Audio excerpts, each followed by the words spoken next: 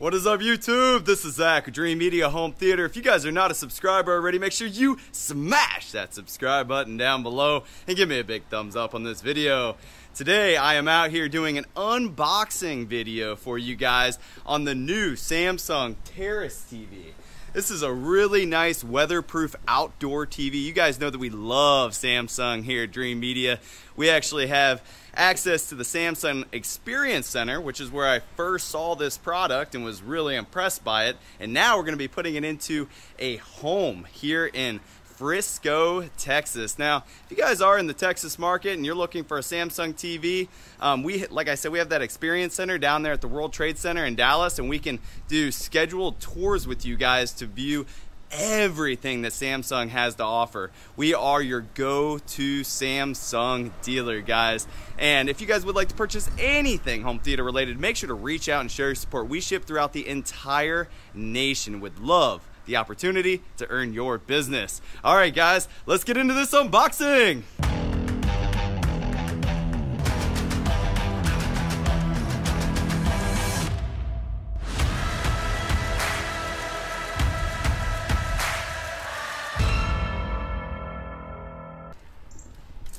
Okay guys, so before we actually opened it up, I wanted to bring it into the backyard just to make the installation a little bit easier. This is the space that we're working with. Pretty typical Texas home. You got a nice little covered patio back here, and you need some entertainment, right? We already put in the outdoor speakers for him years ago, and those are great and all, but he wants a little bit of video. Some nice Texas days where you just want to chill out on the patio and have a beer and watch the game. So this is the new Terrace TV. I'm really excited to get this up on the wall for him. This is the location where we're going to be putting it. And you can see there's no electricity. Well, I got one of my preferred installers out here, and what we're going to be doing is tapping off of, there's an outlet behind this wall, which we'll show you once we get more into the installation. Um, but there's an outlet in the other room that we're going to tap off of. So we're going to drill through this wall and tap off the electrical outlet that's right there to get us power. And then this is the TV. You can see he's starting to unbox it now. Pretty thin profile. And the whole top is actually just going to slide right off like this, guys. There you go. And what's really great about these Terrace TVs, you guys know that we sell SunBrite as well. So if you guys want to do a SunBrite TV, we have the full line there uh, as well. We have the um, Veranda, Signature, and Pro Series.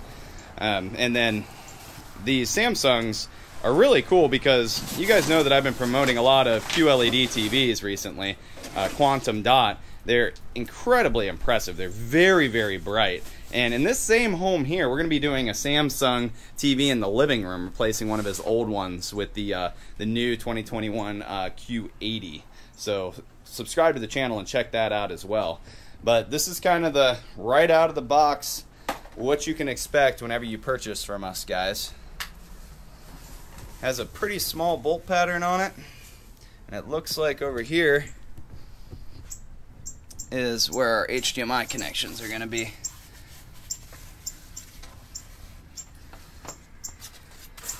Okay guys, so one thing I like to do when mounting TVs is with two people, just go ahead and lay it down on its face on a soft surface Obviously, make sure to put something underneath it. You don't want to scratch your brand new TV. But this just makes it very easy to get your bracket on. And then you're not struggling with all the foam in the box and um, trying to get those brackets into the correct location.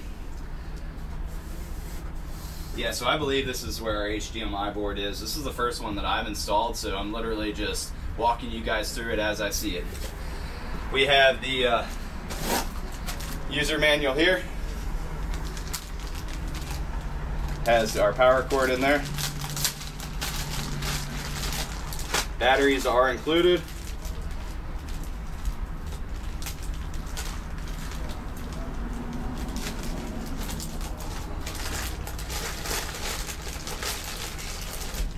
Actually, they include a really long power cord. And this is ground a grounded power cord, guys.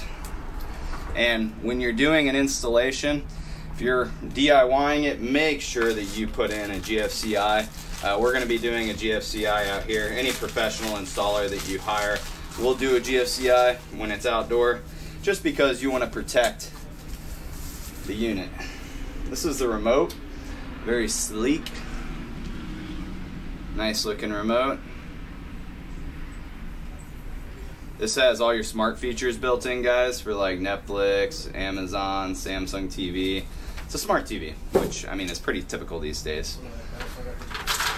And then you have your registration and warranty, the model SKU there. So, guys, um, I do always want to point out in our videos that we are an authorized reseller. It's really important, especially when you're buying on the internet, that you're purchasing from an authorized reseller because, say, God forbid something does happen to the unit, we want to make sure that you're covered and that the manufacturer is going to get you a new one. Okay, well, um, I think that's. Oh, well, what else we got here? We got a a little channel, some type of bracket here. I'm not exactly sure what it is, but in a moment, um, before the end of the installation, I'll show you what this is. yeah, that's that's everything in the box. So we'll start there, guys. Uh, next thing we're to do is go ahead and get our bracket on the TV. Let's keep on moving.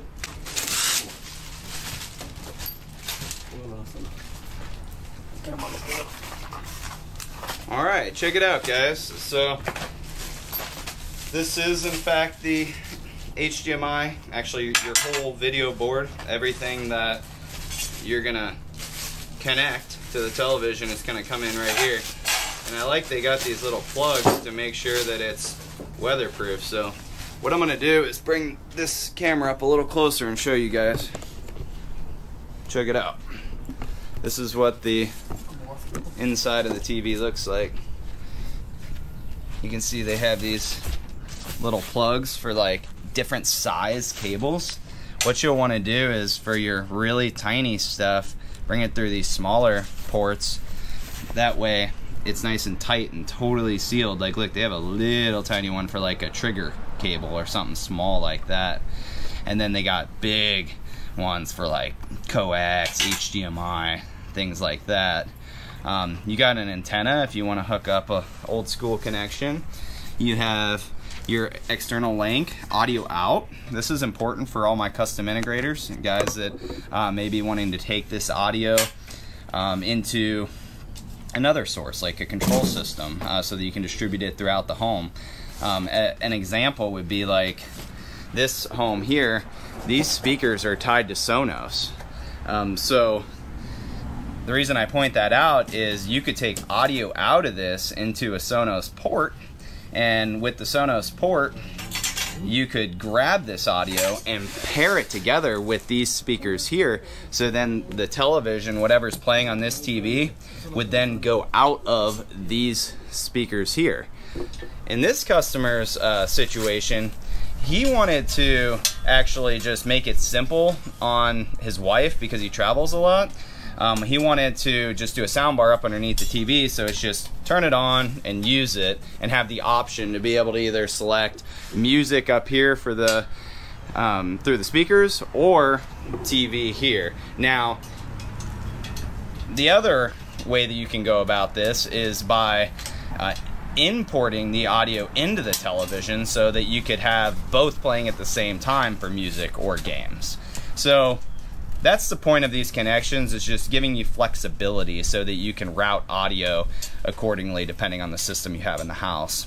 HDMIs, I don't think we really need to talk about this. This is just going to be for like an Apple TV or a cable box or anything like that.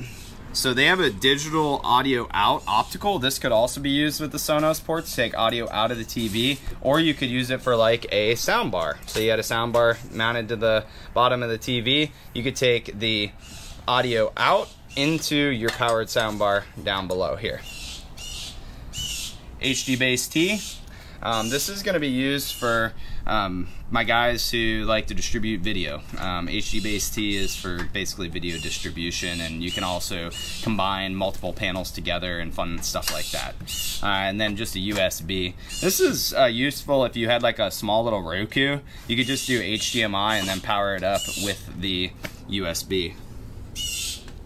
There's the power rating on it right there. Very clean. I love Samsung products. They they do a really nice job and they, they keep everything at a very reasonable price point too. I have some very premium offerings um, from other manufacturers that can get up there in cost. Samsung does a good job of balancing performance and cost. So that's that's the port, guys. I hope you enjoyed that little walkthrough. There's a lot of screws. That that's one thing I don't really like. They put a ton of screws to get in there. And another thing that I'm not not gonna like too much is the bracket that's gonna go on the back of this. We went with a huge one, so it has a lot of swing to it, so that he can move it around a lot. But let me uh, show you guys what I mean. Juan, you want to bring that over here? So these right here, these brackets are gonna go on the, te the television like that, and then this guy here is gonna go right in there like that. So it's actually going to cover our access panel. What I'm going to try to do is bring it down to where this will still open. Um, but this mount is not required. Yeah we might be able to make it work. We'll, we'll see um, but this mount is not required for this TV. This is a very small bolt pattern. So if you don't want to have to worry about having access to this, we have other mount options that'll just bolt right in here and these bars won't be an issue. But this particular customer wanted it to swing really far off the wall. I mean, look at that. It's like uh, two, three feet off the wall. So that'll give him really nice flexibility for his viewing area. Okay, well, we're gonna tinker with this and, and get it lined up we know where we want the bottom of the TV, so what we're gonna do is measure from the bottom of the bracket to the bottom of the TV, which is three and a half inches. Customer, he wants the TV right here, one brick higher than his little hooks. We've already marked the center of the wall, which is where we want the TV, so we're gonna do three and a half inches up from right here. So right there will be the bottom of the bracket. So bottom of the bracket here, center of the bracket here. And then we marked out the edge of the TV is going to be here. And the reason I want to point that out, guys, is because we're going to be tapping into electrical, which is going to be a fun little addition to this video that I hope uh, you guys enjoy. A lot of you guys have new construction homes. You won't have to mess with this. But for my guys out there that have older homes or maybe you're not wired, um, you'll appreciate this. A little insight into electrical. Okay, so we're gonna go ahead and get the bracket up there and hold it up and mark out where exactly we're gonna be. You wanna grab it Juan? We're gonna mark out exactly where we need to drill our holes because we need to use heavy duty anchors over, over. Heavy duty uh, concrete anchors, guys. Yeah, so right there is center and we want it level with the brick.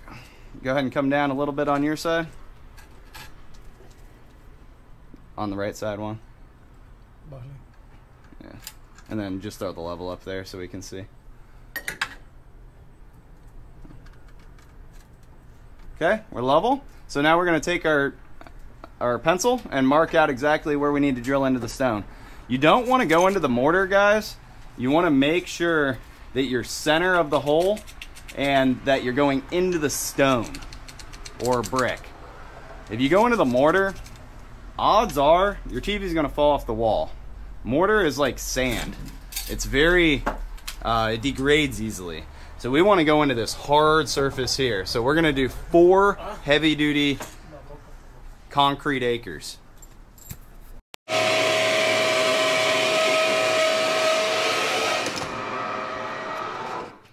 All right, guys.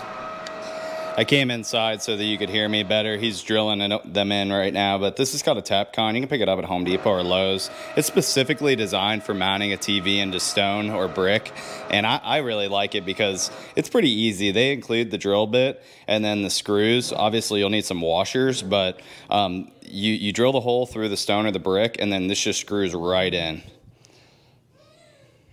Simple and he'll be done in just a moment and we'll be throwing this bad boy up. Stay tuned guys. All right, as you guys can see, I had to take a quick phone call, but now I'm back out here and the guys are screwing it in. There's one left. You can see they put the washers on there and you want to evenly distribute that weight.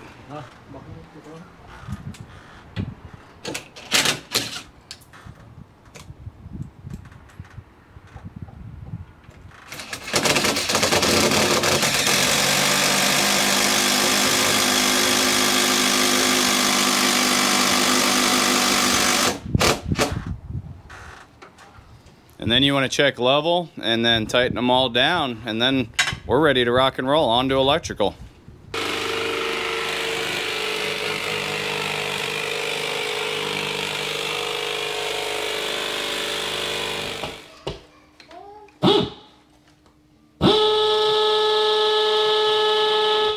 There we go. All right, guys, so we finally made it through. Uh, what we ended up doing was concrete to get through um, the exterior wall, and then we hollowed it out and put a wood bit on there and drilled through that exterior um, layer, that plywood. And now what Juan's doing is putting a little single gang outlet, and that way we can put a blank plate on it, and then the wall can be repaired later. But what we need to do is we pushed it to where we're at least past this stud. So now all we need to do is get past this stud here. So what we're gonna do is pull the TV down and cut another hole, another single gang hole, and drill through it and fish the line up to the outlet that's up here behind the TV. So um, we're gonna pull the TV down. I'm gonna help the guys out here. All right, check it out, guys. We are moving right along. This is what I was talking about with Romex. This is what they use to build your home. You want to use Romex, do it properly. If you aren't comfortable doing electrical work, hire a professional. You do not want to burn your house down with an extension cord. Um, you can see, so there, there was a stud here where the TV was mounted, and they drilled through that stud over to here, and then they drilled through this stud down to there. And then we're going to shoot it out through the wall, out to where the TV is going to go. Okay guys, uh, we are moving right along. As you can see, we got the Romex popped right through. We got our box mounted to the exterior of the stone and then he wrapped the outlet in electrical tape because this is a metal box just to make sure that everything's uh, solid and up to code. Now, I did point out earlier in the video that we were gonna be doing a GFCI, but actually this particular home has a GFCI back on the breaker, so it's gonna trip, it's not necessary. Um, if you do not have a GFCI on the breaker on this circuit, then you do need to put a GFCI outlet here. Um, but in this case, we're solid. So the next step is just gonna be putting a weather rated uh, top on it like this so that it actually seals. You can see the foam, it's gonna seal right to the outlet. So in a minute, I'll show you how to connect it to the other side on the interior and then we'll move on to the fun part, getting this TV up on the wall. All right, check it out guys. We just finished up on the interior master bedroom. You can see we put some blank plates there and then we tapped off of this outlet up here. Everything's buttoned up and we're gonna throw this TV up and then go outside and throw that TV up. Moving along. All right, and you can let me kill the audio before we get copyright. Okay, so we, you can see we got our weatherproof outlet out here. We got our swing arm going. We're gonna go ahead and tighten this down so the weight of the TV doesn't pull it into the tilting position.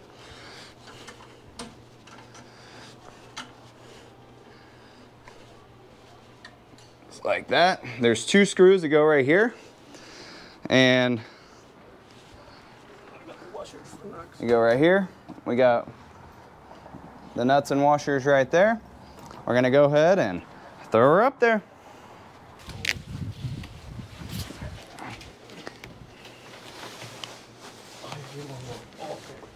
Just hangs right there. Perfect. So this is what I like about this mount so much, guys, is, I got it. Yeah, it's good. You hang it on this little tongue back here, and then it just sits there. So installing the TV is a breeze. I mean, if you wanted to with a TV this size, you could even do it yourself. Uh, but with two people, I mean, it's just bang. You hang it right on there and we're gonna tighten these bolts down. Check it out. As you guys can see, just hung right on there like a picture. And then we got our little lock screw, which keeps it from moving. We got two of them. That's it. Okay, so we just did a little bit of wire management, guys. Uh, out of our power outlet, a little zip tie. And this has some nice wire chases right here. And you can see we left a little slack so it can swivel. And then a little bit of slack right here. And I actually put all of the extra wire up in the housing, which we're sealing up right now. We want to make sure that it's weatherproof. It is looking good. And you can see with this mount, the reason we chose it is you can literally swivel this 180 degrees. It looks awesome. It's gonna be really nice sitting in this viewing area. Or if you're just out here in the yard playing with the kids, you know, have the football game on and be chillaxing. Well guys, I'm excited. We're about to fire it up. Hang in there. One last thing before we fire this puppy up, guys, is this little bracket here. I told you that I would let you know what this is for. I just looked in the user manual, and this is actually designed to go right here as a cable holder.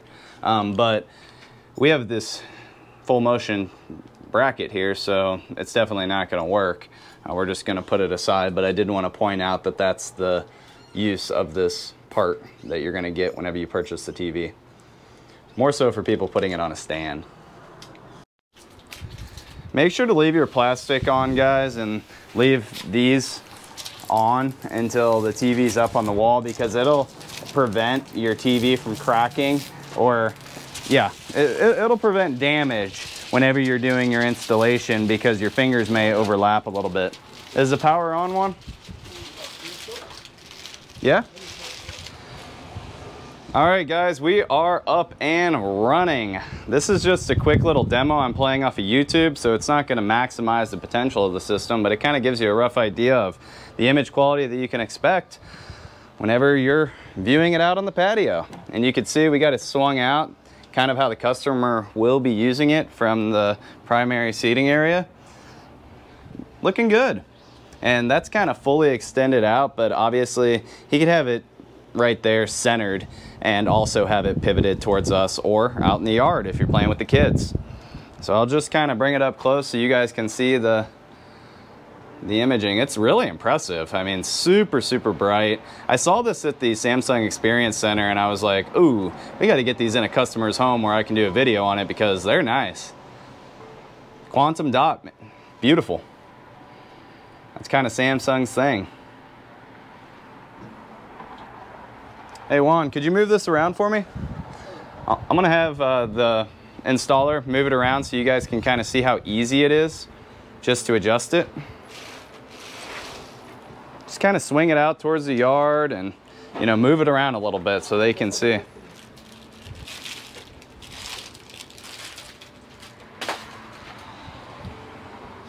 Very, very easy to maneuver. And you can see how far this thing comes off the wall. I mean, even with the direct glare, it's still nice and bright. You can see it clear as day from out here. And then if we wanted to put it back into the stationary position, we're just gonna swing the arm like this. Well,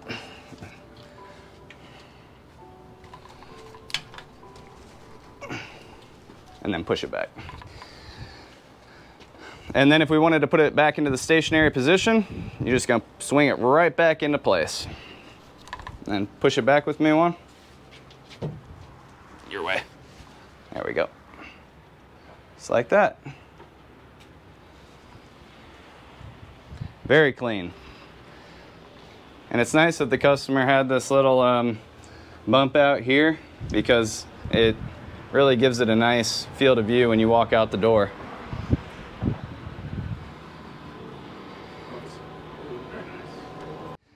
All right, guys, well, that is a wrap on our Samsung Terrace TV installation unboxing video. You guys got it all today. We unboxed it, we installed it, we did a demo for you. I hope you guys enjoyed this content and it helped you make an educated buying decision. If you liked the video, give me a big thumbs up and smash that subscribe button down below for more. If you guys would like to purchase this product or anything else home theater related, make sure to reach out and show your support. We would love the opportunity to earn your business. We do free consultations, guys. We'll FaceTime video with you. We'll walk through your entire space and tailor products just like this speakers, receivers, projectors, screens, everything that you need specifically to your room and your budget. So reach out today and show your support. All right, guys. Well, till next time, this is Zach with Dreamedia Home Theater. Thank you for watching.